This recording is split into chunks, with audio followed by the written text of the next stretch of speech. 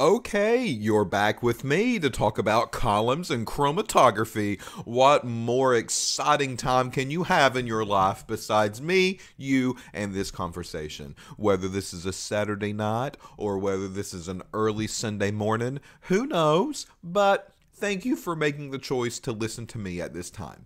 All right, so we need to talk about the column, and we need to talk about the column in more detail as far as it concerns chromatography and how chromatography works.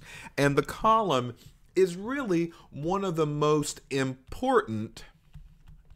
And I'm going to write that on here because I think that is important to say and to note. But it is one of the most important pieces of a chromatography system. Now, a couple of these columns can be handmade. All right. And that's actually what you're going to be doing in the laboratory for us at some point in time. You're actually going to hand make your column if you haven't already, and you're going to be analyzing a sample on a handmade column. And that will show you how these columns used to be done, such as Michael Tsvet's day when he started looking at his pigmentation patterns. However, most of the columns now are ordered and they're ordered from a company, some type of column company that we can just simply call up and say, This is what we're doing and this is what we need, and could you send it to us, please? And then they're like, Yes, for $1,200, it'll be on your way, and then we'll receive it in the mail within three to five business days. All right, so that's the world of column chromatography nowadays. It's not making it in the laboratory as you need it. We really order them as we need them and as we need to replace them. Okay, so I first want to talk about a handmade column. And the reason I do this is because you are eventually going to start off, again, if you haven't already, learning how to hand make a column and the most important pieces that go on the inside. Okay, so I'm going to draw basically some type of glass vessel that will look like a burette here, but it's not really a burette. It's actually called a chromatography column. It's a little bit different than a burette because it doesn't have the line markings on the outside for milliliters, right? The burette is what you've used to titrate with. It has these line etchings on the outside, and the burette column does not have anything like that because you don't need it. That's not what it's used for. But it's shaped very similar to a burette column. Okay, and it has a stopcock down here at the bottom. Uh, the first piece that I want to mention uh, is the piece down here at the bottom, and I'm just going to kind of draw a layer that's going to be right here. All right. And I'm going to name this layer as a frit. Uh, now, I can order these chromatography columns, just the glassware only, and I have to pack it, which is what we're getting ready to talk about. And if I do that, then some of these will come with what we call a frit. And this frit is basically just a surface that is very porous and it allows the liquid to flow through, but it doesn't allow any of the solid stationary phase to go through. So imagine it in a way kind of like a filter. It's filtering the liquid through the chromatography column, but it's not allowing any of the solid particle to come down here and clog up the stopcock or to clog up the tip of the burette. So we call that a porous frit. Now, if it doesn't have a frit, the next best thing to put here is a piece of cotton. And you'll actually be using a piece of cotton when you pack your own column in the laboratory. And the cotton does the same thing. Uh, it is very porous, so the liquid can go through, but it's going to prevent any of the solid from actually escaping through the cotton and into the burette tip or into the stopcock itself. All right. So on top of the frit or on top of the column, we're going to have another layer. And this layer, I'm going to draw a different color. And this layer is actually a sand layer. Now, that's what you're going to be using when you pack it. However, in an actual column, they use a different type of material that's similar to sand, but not exactly sand that you would find at the beach, right? So, the purpose of the sand is just to make sure that everything is level, right? Chromatography really bases itself on sample going in at the same time and sample going out at the same time. And in order to achieve that, you have to have a level playing field. And that's the purpose of the sand la- layer, at least on the bottom. So it allows things to kind of come out all at once, and it provides another barricade for the stationary phase so it doesn't go through the column itself. On top of the sand layer, we're then going to have a variant of levels of stationary phase. Uh, these can be as tall as they want to be, or as narrow or short as they want to be, but this is going to be my stationary phase of the column. All right, and that's my adsorbent. Now, we talked about adsorption, so this is the adsorbent, and the adsorbent in chromatography, if I pack it myself, is typically a silica or an alumina based uh, stationary phase. Now, there's hundreds of different stationary phases that are out there for me to choose from. And if I'm using equipment or instrumentation such as HPLC, I'm probably not going to be finding columns with silica or alumina. But the very first lab that you will do with us that you will hand pack like this will either be alumina or silica. And that's why we talk and start talking about this version first because that's the first version that you're going to be seeing, okay? So stationary phase can vary in height. And then what happens is that I typically will come through and I will put another layer of sand on the top. And again, the purpose is the same. It is to level everything out to make sure that my sample goes in all at once. And then that's basically packed. I now have a column that's ready to go that can actually take a sample from me at this time. All right. So the way that this column will work when I hand make it is that in the beginning, what I want to do is I want to make it wet. All right. So in goes my mobile phase. And my mobile phase can be typically anything it needs to be. I'm going to talk a little bit about the pairing up in just a second, but my mobile phase here is probably going to be some type of organic solvent when I do this by hand. All right. And we'll talk about why and we'll talk about how a little bit later on. But my mobile phase goes in. And this mobile phase will actually go through the column and it will make everything wet on the inside. The first thing that you want to do is make sure that there's no cracks in the column. Okay, cracks or bubbles are very, very bad, and you will not get very good separation due to this if you see those. So, when you put the mobile phase into the column and you start to see your column crack or break apart as far as the stationary phase goes, or if you see bubbles begin to happen in the stationary phase and you get these air pockets, these are very, very bad. You might as well just trash the column and you might as well just repack it because you're not going to get good data and you're going to get tattled on at the very end if you think that you can sneakingly get by with it because you don't want to pack another column, right? It takes a couple of minutes. That's all it takes. So a couple of minutes to repack it is going to save you hours worth later on if you decide to go through and do the separation and not get good data as an end result. All right, so the mobile phase goes in, no cracks, no bubbles, everything goes wet, and then I'll start to see drips that happen down here at the very bottom. When I do that, if I'm ready to inject my sample, I'll just continue to let the mobile phase kind of go on through and almost go directly into the sand layer, all of it, right? So I'll let it seep, seep, seep, seep slowly into the column. And when that mobile phase gets to the top and about the rest of it goes into the sand, I'm then going to put my sample on top of that.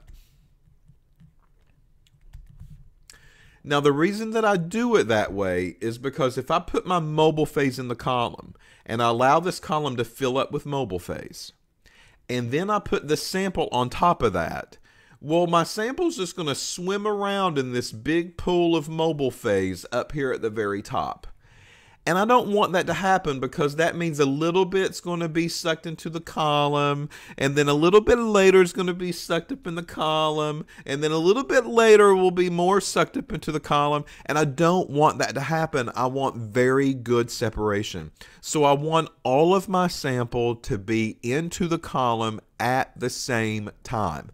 And the way that I prevent all of this trickle that can happen is that I allow the mobile phase to go all the way down to the sand layer. And then when that gets ready to go into the sand, then I put my sample on top of that very quickly. And then my sample will suck down into the sand. And I wait until the majority of the sample has been entered into the column. And then on top of that, I will hit it with more mobile phase. And that more mobile phase will continue to push the sample through the column and allow the separation to take place so I can collect it down here at the very bottom. That's the proper way to pack a column, and that's the proper way to extract your samples from the column. It's very important, right? If you do this process the wrong way, you're going to get tattled on because your numbers are not going to be get very good. Your separation's not going to be very clear. You're going to see multiple bands of the same color in the sample and in the stationary phase, and you never want to see that happen. All right? So, frit or piece of cotton at the bottom, then the sand level, then the stationary level, then the sand le level, then mobile phase. Get everything wet and keep adding mobile phase until you start it to see drip down here at the bottom. If everything looks good at that point, you allow the mobile phase to basically suck all the way down into the column. You top that off with your sample. Allow your sample to be sucked almost all the way completely in the column and then you top that off with mobile phase and you keep adding mobile phase at that point until you get all of your components off the column that you want to keep. So that's the handmade packing of the column. All right. Now we do have a picture. There's different um, burettes that you can use or that you can choose. Uh, and here is an example of one of the chromatography columns that you might see in a laboratory. And let me zoom this up a little bit. All right. So uh, here is basically uh, different versions of a chromatography column that you would pack.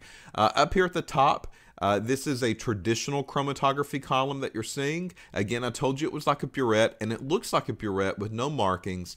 And then up here at the very top, you see a bulb, right? We call that the well, the mobile phase well. And this allows you to kind of flood the column with mobile phase and keep it going so you don't have to refill it with mobile phase throughout the process of separation. So it lessens the workload on you a little bit, but that's the purpose of the well up here at the very top. Down here at the bottom, you're going to basically see the same thing, except this is a shorter chromatography column, and this is perfectly good to use, right? There's no difference here than that one. This is just a little bit shorter, and the separation, if it's simple, can take place much quicker in the shorter column than it can the longer column. Here are big, huge vats of chromatography column, right? Uh, so this is the frit that we were talking about in the in just a couple of minutes ago. You can kind of see the frit in the small one as well. Uh, but this one is made to hold more stationary phase and it's made to hold more sample. So these are going to be larger sample throughputs. Uh, and we just typically don't use that ourselves. We don't have a need for this size we actually don't have a need for these larger sizes either because the lab that we get you to do is a very simplistic lab that only has a couple of colors in it and that is it. So one of these little short ones would actually work for us better than some of these bigger ones. Uh, the chromatography columns can actually go much, much larger. So here you see more variants of the chromatography column, just in different sizes and different widths, some with wells, some without the wells. And then over here to the right, you can actually see how large some of these can get. Uh, so here's a chromatography column with a woman that's standing beside of it. So again, it depends on what you're doing with it. Uh, what's going on in the laboratory, what kind of samples are you processing, you know, what's happening here. And that's why you choose the different chromatography columns that are out there.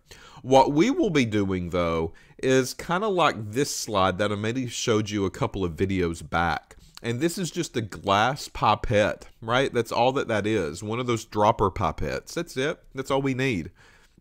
And then here in the bottom, uh, you probably can't see it that well, but there's a piece of cotton. And then on top of that cotton is a small layer of sand. And then you see the white area that's here. And that white area is going to be my stationary phase. And then on top of that, it's going to be a little bit of sand again. And I can see some sample. It's kind of greeny color in the column itself. It looks like this person's already extracted the yellow color and the green color's coming out now. But that's kind of the column that we're going to be actually assembling in the laboratory when we do our very first lab. All right, so that's what we want to see. Uh, if you want a, a closer look at the tops and the bottoms of the column, here they are. Uh, so there's the cotton that you see down here at the bottom. And then here's a small layer of sand. Doesn't have to be very large. Just make sure you tap the edges to make sure it's level. And then above that is this white looking stuff, and that's my stationary phase. So the stationary phase goes all the way up to the top. And then here is my sand layer. And that sand layer, again, I just tap, tap, tap, make sure it's level and then I see some mobile phase that's sitting up here on the top. If I'm not using the column for that particular day, I want to make sure that this stays wet if it has already gotten wet. So what I mean by that is if you want to pack the column on one day and not put any mobile phase in it, it will be good to go tomorrow. You can then put your mobile phase in it, make sure there's no bubbles, make sure there's no cracks, and start separating your sample. However, once you make this wet, it has to stay wet. It cannot dry out. So if you're kind of getting to a point where you're adding mobile phase and you're doing the separation, you really have to go from that point on all the way through the rest of the lab. There's no stopping point that you can do. Once you get it wet, it has to stay wet, and you have to keep getting basically the mobile phase drip out of the bottom of the column or your column will begin to get ruined. Now here's a bigger picture of a bigger column, right? And it just kind of goes through the steps that we've talked about already. So down here is the frit and then the stationary phase and then a little bit of sand and sample up at the top. Uh, drip, drip, drip into a container that sits down below. And then up here is my mobile phase well that will hold my mobile phase and it's ready to go when I'm ready to go with it. All right. Uh, so again, one of the things that you got to keep in mind is never let the column run dry. So once it gets hit with mobile phase, it has to continue to get mobile phase until you're completely done with that column. If not, the column's typically ruined and you're going to have to completely start all over with your lab experiment. All right. Okay, so that's a little bit of the column and that's a little bit of the diagrams and the pictures of what you would see, especially in your very first lab, uh, and some kind of tidbits of information about how a column begins to look on the inside, right?